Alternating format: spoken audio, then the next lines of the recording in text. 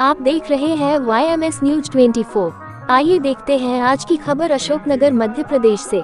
सतपाल यादव जिला प्रमुख के साथ। अशोकनगर ज़िले की मुंगावली तहसील में चल रही रामकथा के आज तीसरे दिन। तथा वाचक कपिल वशिष्ठ जी के द्वारा आज रामकथा में शिव विवाह के बारे में वर्णन किया गया।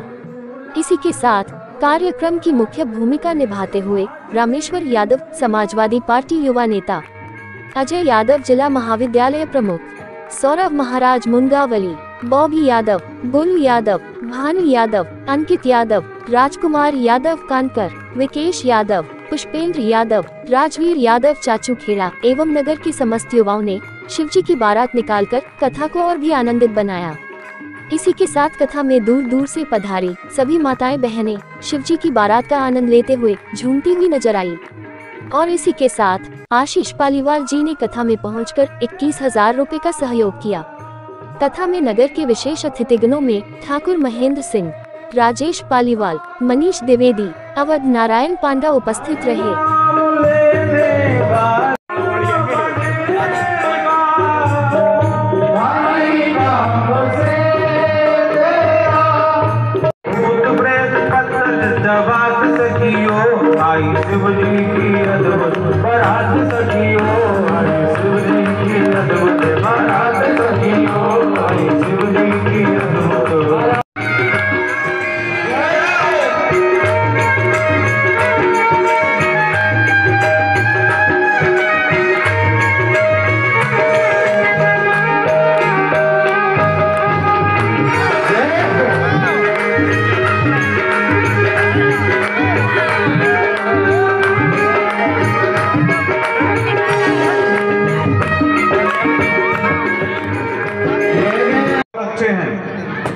बहुत बड़ी टीम है।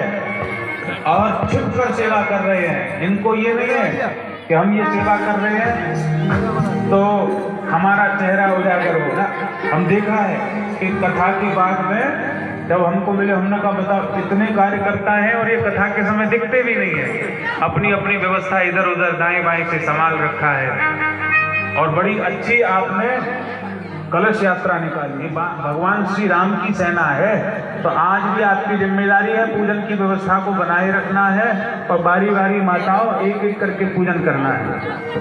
और आई शिव जी की अद्भुत, है? पार्वती जी को भी बारात नहीं ले आए? बारात सखिया, आई शिव जी की अद्भुत। बारात सखिया, आई शिव जी की अद्भुत।